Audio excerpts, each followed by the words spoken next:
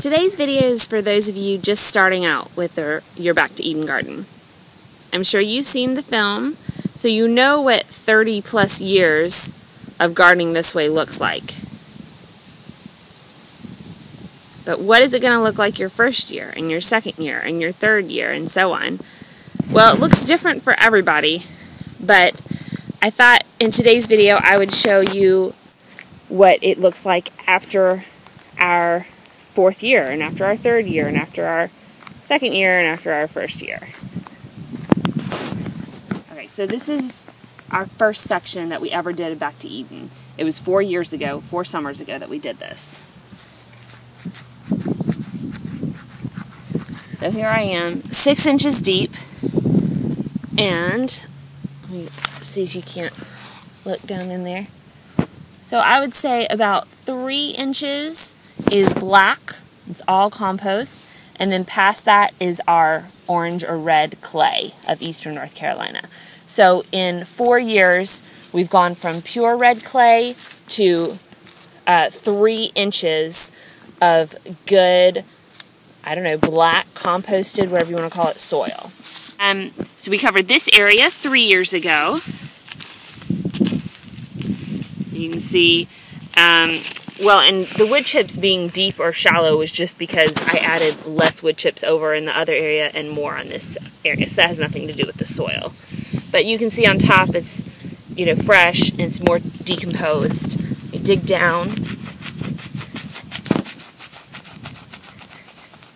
So that's six inches deep. So see what it looks like. Uh, okay, in this area, I would say about four inches um, is the first four inches after the mulch, the first four inches of compost or soil is nice and black.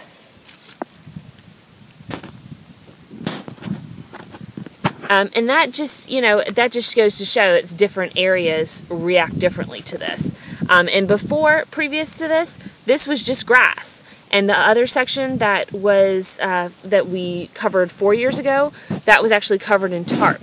So I don't know if maybe this section is better because it was already had the grass base to fertilize it. Um, but anyway, so that's that. Mm-hmm. This is two years ago. We covered this two years ago with tarp, or not with tarp, I'm sorry, with wood chips, and before that it was just um, grass.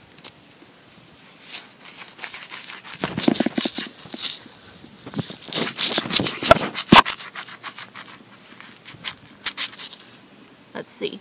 And this, I would say, can you get down in there? I would say the first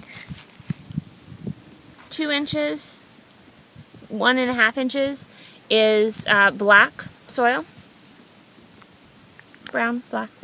it's looking good. And then you have clay underneath. Now, we did not add any uh, chicken manure to this area, so let me show you a section that we covered two years ago that we did add chicken manure to. Okay, we covered this two years ago with with wood chips, but before we did that, we emptied out the coop and put chicken manure on this. So let's see if there's a difference. I can already tell there's a difference.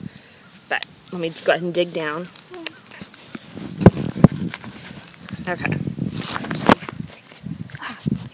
So if you can look down in that hole with wood chips and chicken manure, it just really makes a big difference. I don't see any clay, and I've gone down six inches.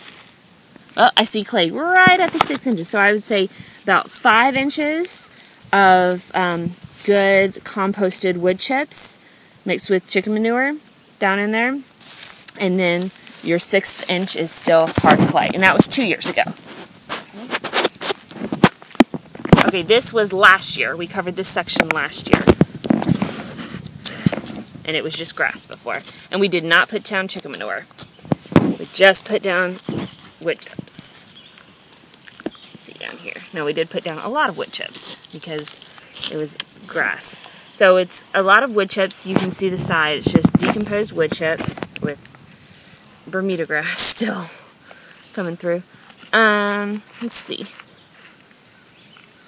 You can see down, I'm getting to, I'm getting to clay now. So I would say probably about three inches deep I'm getting to clay.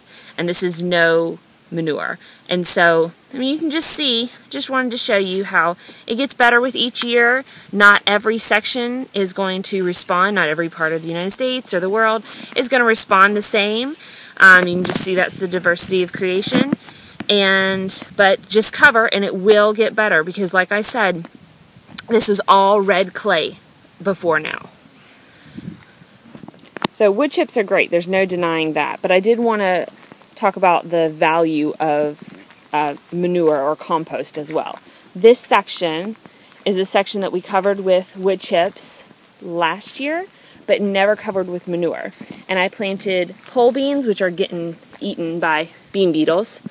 And then I also planted corn, which is just not growing very well in this section.